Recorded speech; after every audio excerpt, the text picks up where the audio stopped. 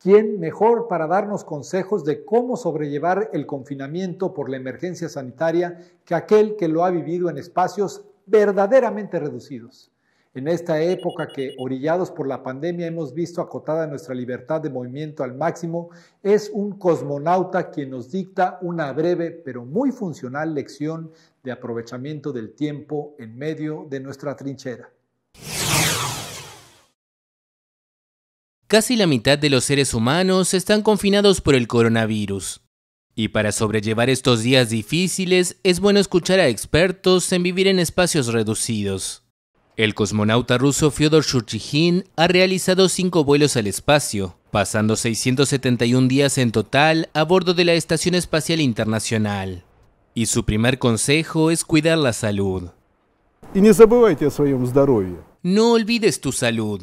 El espacio cerrado y los movimientos limitados crean la llamada enfermedad del cosmonauta, la enfermedad de las personas que no se mueven.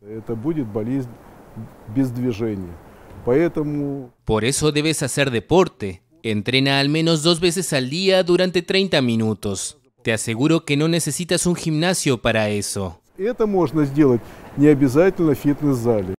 Según el cosmonauta, también hay que aprovechar para adoptar un estilo de comunicación totalmente diferente. Recuerda que tienes familiares y amigos a los que no has llamado durante siglos porque estabas demasiado ocupado. Acostúmbrate a llamarlos todos los días. Yurchijin afirma que es el momento perfecto para ocuparse de las cosas que no hemos tenido tiempo de hacer desde hace mucho tiempo, como poner un cuadro en una pared, ordenar nuestros archivos o releer nuestro libro favorito. Y por último, pero no menos importante, destaca las ventajas de tomarse las cosas con buena voluntad. Se dice que el humor prolonga la vida, así que aborda esta situación con humor, el humor debería prolongar la vida y acortar la cuarentena. Э, Tienes que entender que todo está en tu cabeza. Si solo ves el lado malo de la cuarentena, se sentirá como una prisión.